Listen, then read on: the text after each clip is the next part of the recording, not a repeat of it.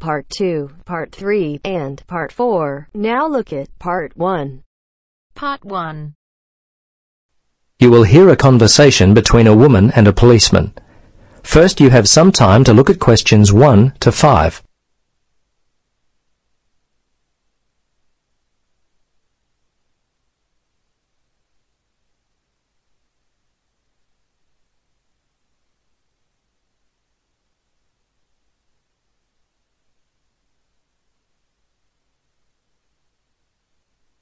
Now, listen carefully and answer questions 1 to 5. Hello, Sergeant Rhodes speaking. Can I help you? Yes, hello. I'd like to report a stolen bag. Hmm. Okay, a stolen bag. Uh, we've been getting a lot of these lately. I'll need to get some details.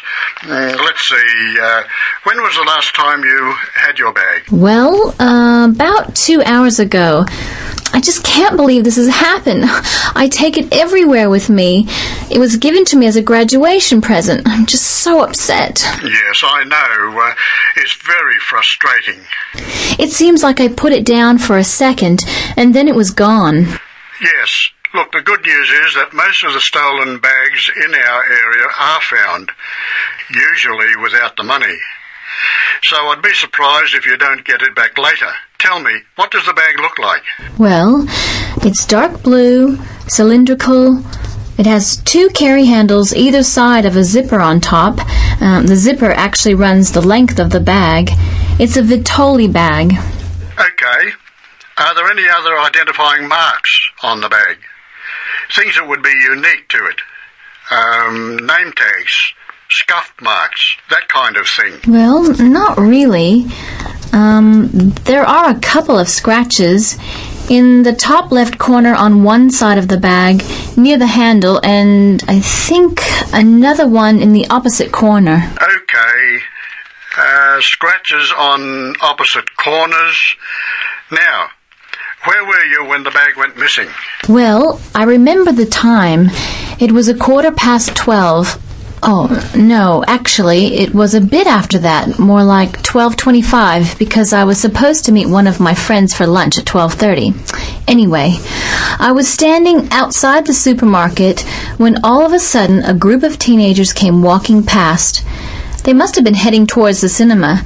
They seemed to be in a hurry and probably late for the movie, so I stepped aside to let them by. When they'd passed by, I reached down to pick up my bag and it was gone. I see. Now, can you remember the contents of the bag? Yes, um, let's see, my passport and some traveler's checks. Fortunately, I was carrying my camera and I had my wallet in my pocket. They're the main valuable things. Um, Okay. Uh, anything else at all? hmm, let's see. No, I think that was it. Oh, a few pens, but that's all really. As I say, nothing of real value. Okay. I'm going to have to get your details. Are you here on holiday? Yes, as a matter of fact, I am. I'm visiting from Canada. I've been here for three weeks already, but I'll be here for another month. Before you listen to the rest of the conversation, you have some time to look at questions 6 to 10.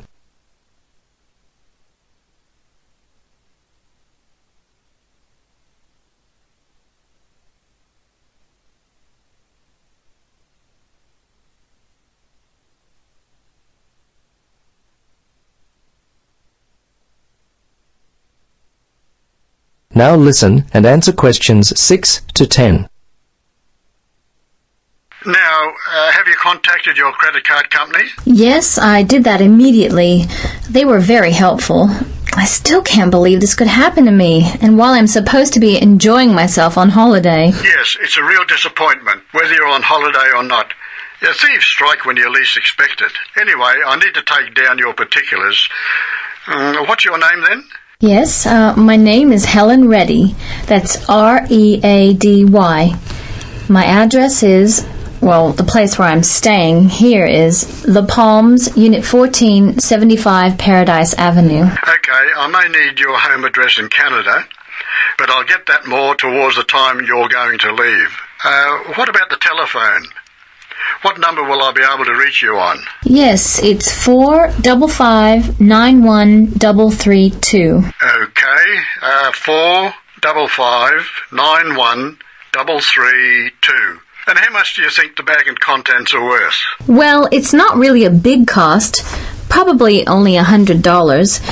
It's the inconvenience of it all. I understand. Look, uh, we have a lot of lost or stolen property recovered daily. Come by the station tomorrow and have a look. As I said, there's a high chance that we'll get the bag back. Your passport at the very least. Okay, thanks for your help. See you tomorrow then. Bye. Yes, bye.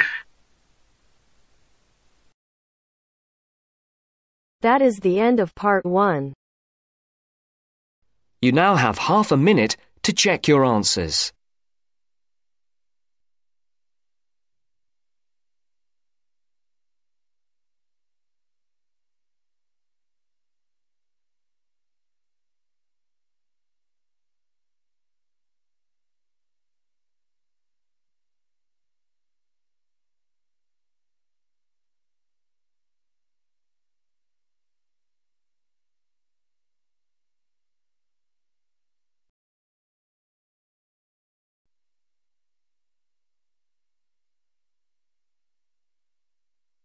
Now turns to part two.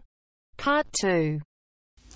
You will hear a recorded message giving information about an animal park. First, you will have some time to look at questions 11 to 15.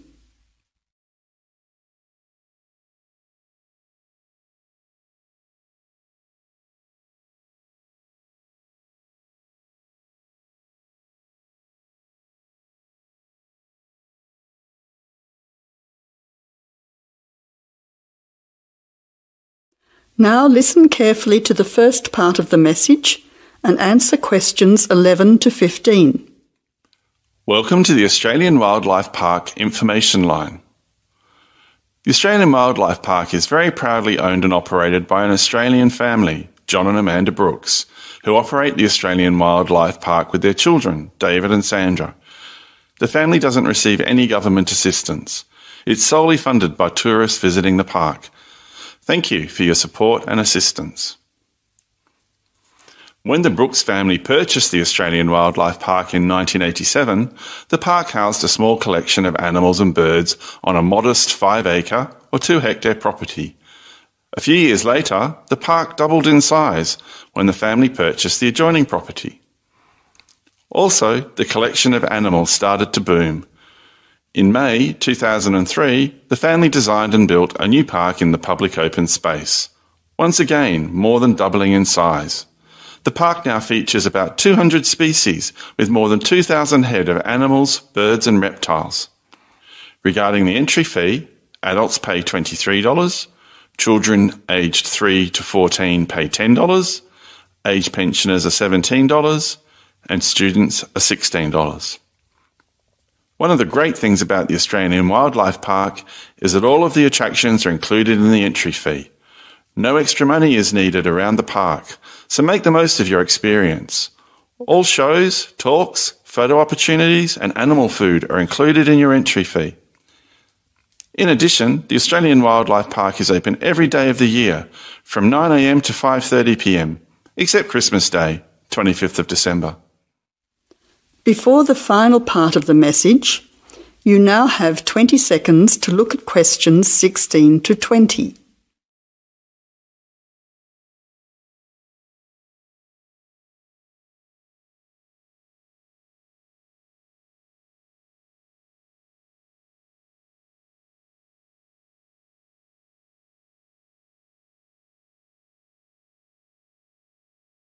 Now answer questions 16 to 20. Several attractions are available to visitors to the Australian Wildlife Park. Firstly, you can meet the koalas between 10am and 4.30pm.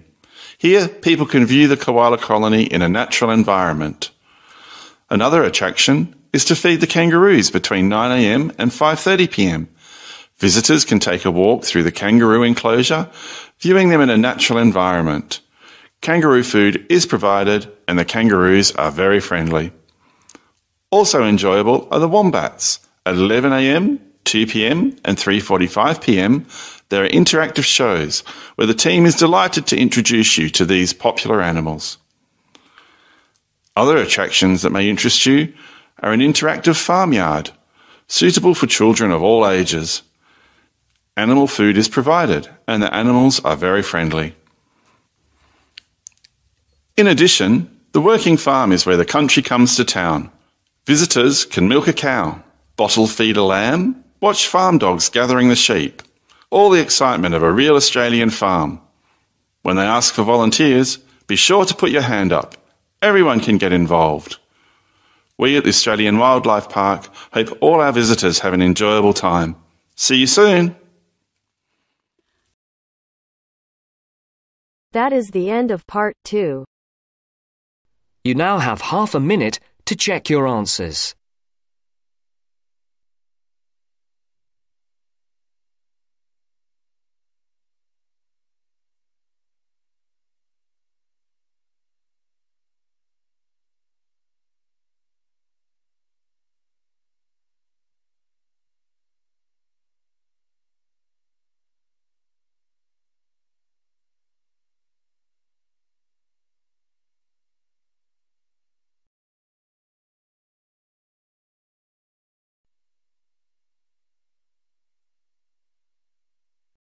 Now turns to part three. Part 3. You will hear two students, called Richard and Shirley, discussing the information they have collected so far for a group project. First, you have some time to look at questions 21 to 26.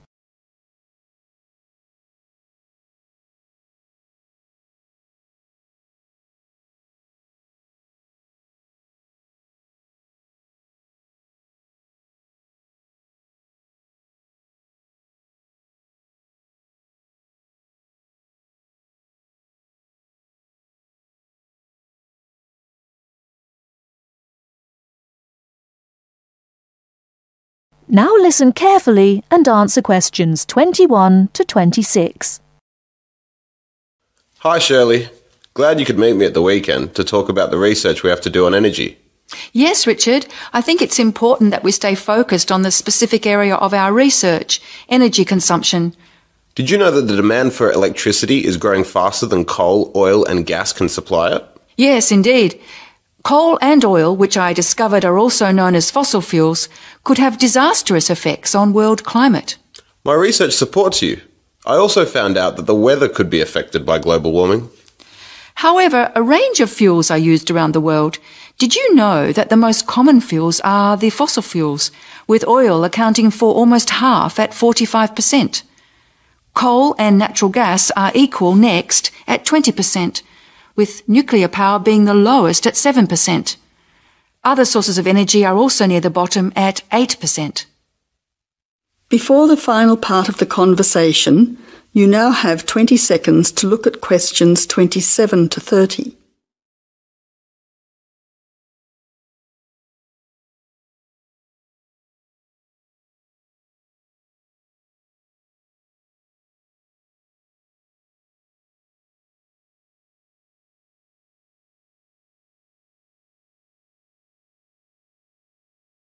Now answer questions 27 to 30. That information will be useful when we look at the different energy sources in detail. We also need to look at the pros and cons of each type of energy. We've already said that fossil fuels increase the world's temperature, but we also need to mention the most serious issue that these three types of fuel are finite, meaning they will not last forever. Another major disadvantage is that by burning coal and oil in particular, chemicals are released into the atmosphere which combine with water to fall back to Earth and damage both plant and animal life. That really sounds useful. If you focus on coal, oil and gas, I'll look into nuclear power. It is common knowledge that nuclear power stations create radioactive waste, but I'm particularly interested in how this unwanted waste product is dealt with safely. I'll also need to look at the effects on people living near these power stations. Yes, I think all those areas need exploring. Do you think I should also look into renewable energy sources, such as wind and sun, energy that never runs out? Don't you think it's an important area to consider? Yes, but I don't think I'll have enough time to look at it in enough detail. I also agree that we have enough to focus on until our next group meeting. So to finish, you could find some information on the advantages of fossil fuels, and I'll give you the facts that I have already on coal, oil and gas. We don't need to look into other energy sources because I'll get more details on the nuclear industry. That's great. See you in two weeks' time. That is the end of part 3. You now have half a minute to check your answers.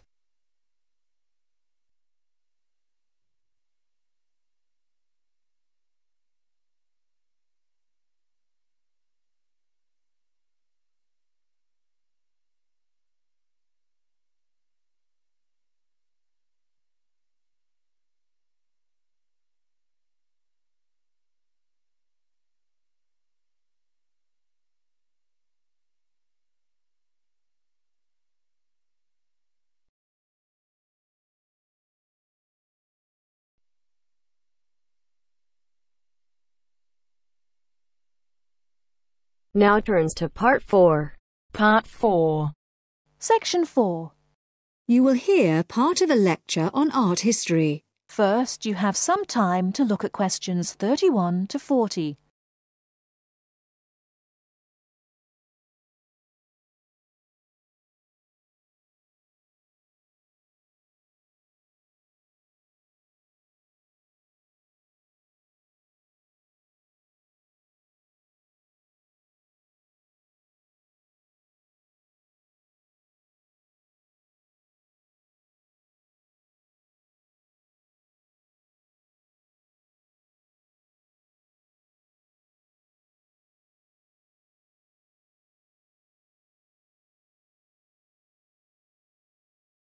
Now listen carefully and answer questions 31 to 40. In the last lectures, we looked at the art of the ancient Egyptians and then considered the art of other ancient Mediterranean civilizations, in particular Greece and Rome. We're now going to return to Egypt to consider a set of very unusual pictures known as the Fayum portraits. The Fayum is a lush green area about 100 kilometers west of Cairo. Following the conquest of Egypt by the Greek warrior Alexander the Great in 332 BC, large numbers of businessmen and officials who had come over from Greece settled in this fertile region with their families. They gradually adopted some features of Egyptian culture, including the practice of mummification, embalming the bodies of their dead and wrapping them in linen bandages in order to preserve them as mummies. The name actually comes from an Arabic word meaning an embalmed body. These newcomers made one distinctive innovation, though. After binding the mummy, they laid over the face a picture representing the person inside. The portraits look like oil on canvas, but they were actually produced using a technique called encaustic, where the artist applies pigmented wax to a wooden board with a small spatula.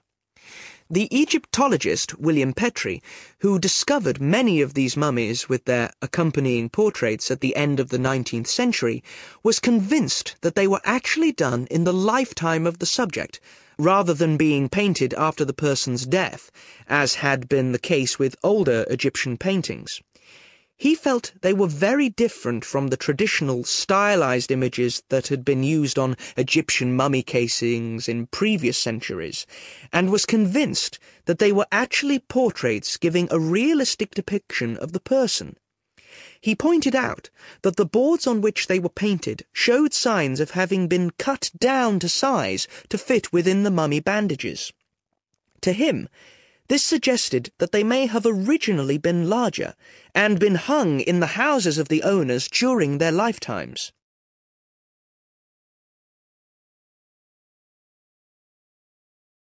But more than a century after they came to light, nobody knew how far they were really depictions of real people, as against idealized portraits. Then a team from Manchester University decided to find out by recreating the faces of Fayum mummies in clay and then comparing the reconstructions with the portraits. The team was provided with skulls from two Fayum mummies from the British Museum and given the information, based on x-rays and other evidence, that one of the mummies was of a 50-year-old man and the other was a woman in her early 20s. Armed only with this information, they set to work. First, they created copies of the skulls. Then they used clay to build up the facial muscles in order to reconstruct what the person looked like. After weeks of painstaking labour, two faces emerged. Only then were the two portraits revealed so that the match between the reconstructions and the portraits could be examined. In the case of the man, both model and portrait showed a broad, flat face with a slightly hooked nose and a fleshy mouth with broad lips. But the man in the portrait was noticeable for his five o'clock shadow, the beard beginning to grow around his chin and on his cheeks. This would have been quite a recognizable feature of the man in real life, and an easy thing for the painter to copy. However, it wasn't something that the makers of the model could know about. In the reconstruction, the right eye was slightly higher than the left, and this was the same on the portrait. But on the portrait, the eyes were very large, which is standard with many of the Fayum portraits, while in the model they were longer and narrower. The portrait of the woman appeared to be even more of a standard type, with her large eyes, straight nose, and small mouth. These pretty feminine features suggested this could be an idealized woman's face, and yet it proved to match the reconstruction surprisingly closely. The proportions of the lower face corresponded, and so did those of the forehead, though in the portrait the eyes were closer together and larger than in the reconstruction. And in both cases, the head was set on a solid neck, suggesting a more powerful physique than you might have expected from these delicate features. So, overall, the similarities between the portraits and the models are too close to be accidental. The artists may have started from a standard picture, but attempts were made to modify this to reflect the characteristics of the subject, what gave the face its personal qualities.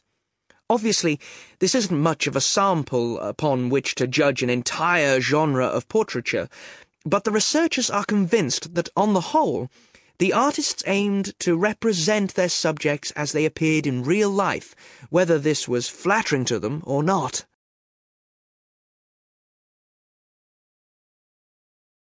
That is the end of part 4.